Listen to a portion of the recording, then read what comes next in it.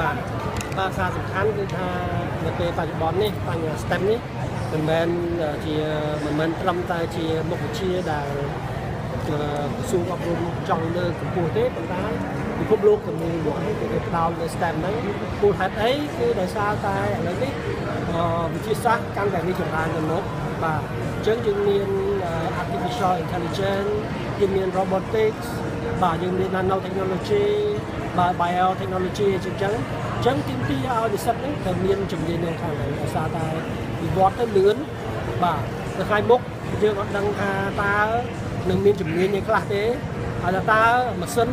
នឹងជំនួសមនុស្សបានប៉ុន្មាននេះសូម្បីតែអ្នកកសែតឥឡូវហ្នឹងក៏អាចមាន computer program ឲ្យសរសេរបានដែរសរសេរកសែតហ្នឹងក៏គេអាចមិនចាំបាច់មនុស្សសរសេរទេ គឺ computer program អញ្ចឹងហើយគឺថាតើម៉ាស៊ីនអាចជំនួសមនុស្សបានអត់បាទនៅក្នុងកម្រិតមួយគេអាចជំនួសបានគឺបើពីយើងថតទីអីមួយយើងដាក់ keyword ទៅ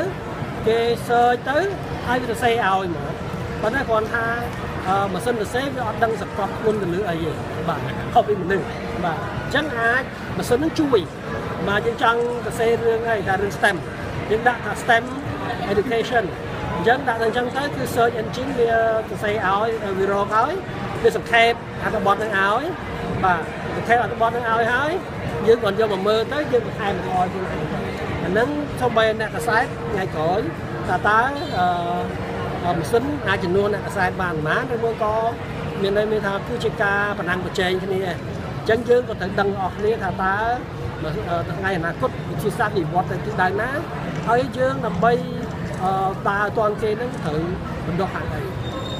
អាដាមចាប់តាំងពីអាដាមចាប់